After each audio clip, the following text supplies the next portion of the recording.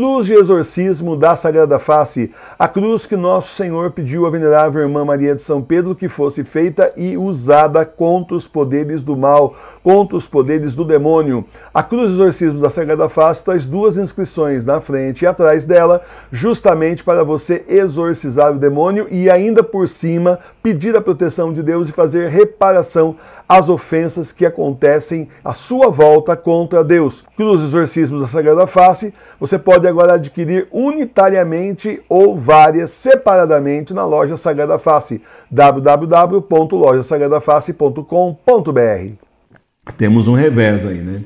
Eu comentei com vocês, nós temos um revés aí, justamente que é a vitória do Trump.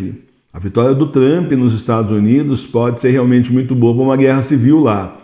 Mas aqui não, é, não vai ser muito bom, porque com certeza já está fomentando, gente, já saiu isso aí no jornal da BBC, que está fomentando o bolsonarismo de novo no Brasil. Quando todo mundo achava que estava perto, todo mundo vírgula, porque um monte de gente vai na Paulista, basta pegar o microfone que a turma vai lá. Bem menos do que era antes, mas vão. E isso é um revés, né? Isso, aí a gente olha e fala, veja, olha só como o demônio lida com a política, tá? Nós temos aí, tínhamos uma desesperança aqui nos Estados Unidos, porque afinal subiu a esquerda no poder, tudo é esquerda, mas para inglês ver, é, tem a esquerda e tem a direita, mas é tudo esquerda.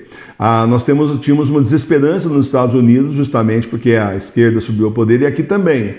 Agora lá sobe a direita, entre aspas, pronto, já fica um monte de gente eufórica, e aqui começa por tabela ficar eufórico também.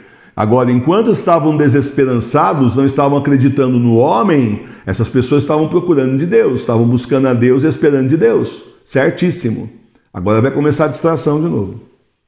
Mas tudo isso tem que acontecer, porque senão como é que vai ter guerra civil no Brasil? Você acha que guerra civil no Brasil vai começar do quê?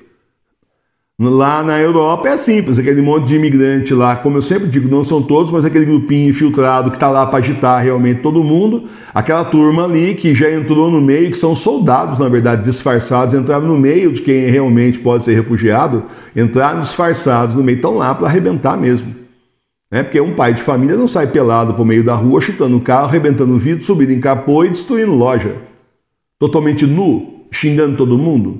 Um pai de família não faz isso. Se ele está refugiado com a família dele, ele está cuidando da família dele num novo mundo, uma nova vida, porque ele no país que ele estava, ele estava arriscado de morte. Então quem está fazendo isso aí já é o pessoal infiltrado, que se infiltrou no meio dos refugiados já. Fim. E cada vez tem mais infiltrado. Agora aqui no Brasil a gente não tem isso, esse fenômeno você não assiste. Então o que acontece no Brasil? Aqui é guerra da direita contra a esquerda, da esquerda contra a direita. Está tudo pronto, o pano de fundo é isso aí. Tá certo? Ninguém me tira da cabeça que vai ser isso, que vai ser o estopim, sem contar as guerras em volta do país que estão para acontecer também. Explodir com a Venezuela, aqui com o Uruguai, com o Paraguai, sei lá mais quem, tanto que é um pedacinho do território só para fomentar a guerra. É só para isso, não é para nada mais. Então, meus irmãos e minhas irmãs, vamos rezar muito por nós, pela nossa salvação, pela conversão dos pecadores, pelas almas do purgatório e em reparação a Jesus, nosso Senhor e nosso Deus, as ofensas que fazem contra eles, porque impedir nós não podemos mais. Profecia de Nossa Senhora de Simbres: se o Brasil cair nas mãos dos comunistas, vai ter guerra civil. Três castigos, guerra civil. Só nunca sei se um dos castigos é guerra civil, mas tem três castigos. E a guerra civil também.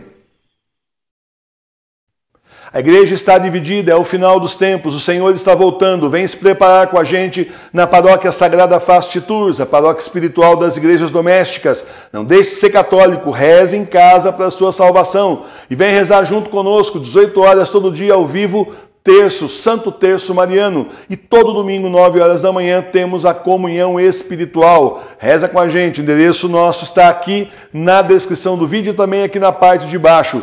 Vem rezar com a gente.